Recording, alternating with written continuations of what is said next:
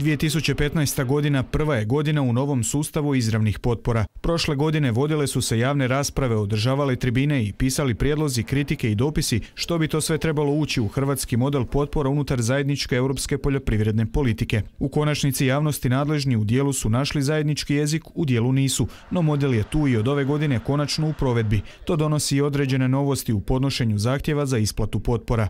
Uz osnovno plaćanje po hektaru uvodi se zeleno plaćanje za primjenu poljoprivrednih praksi koje su korisne za klimu i okoliš. Zatim više novca ide svim poljoprivrednicima za prvih 20 hektara zemljišta koje obrađuju.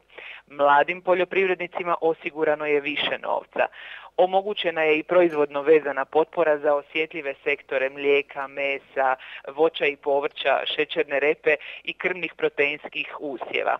Osim toga, dodatna potpora ide poljoprivrednicima u područjima s prirodnim ograničenjima, a jedinstvena godišnja potpora do 5000 kuna malim poljoprivrednicima. Iako puno noviteta poljoprivrednicima to u proceduri popunjavanja neće donijeti prevelike promjene. Jer smo u Agronet zapravo uveli sve ono što poljoprivrednici već imaju, pogotovo kad je riječ o mjerama, iak s mjerama ruralnog razvoja gdje imate mjeru 10 poljoprivredu, okoliš i klimatske promjene, mjeru 11 za ekološki uzgoj i ta plaćanja povezana sa područjima s prirodnim ograničenjima.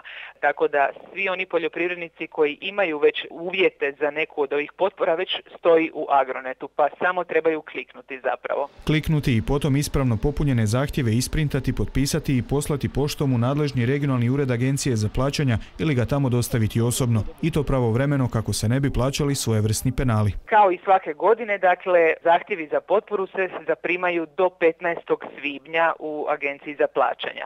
Naravno, dopuniti se zahtjev može također u još dodatnom roku od 15 dana uz određene sankcije smanjenje plaćanja po danu kašnjenja.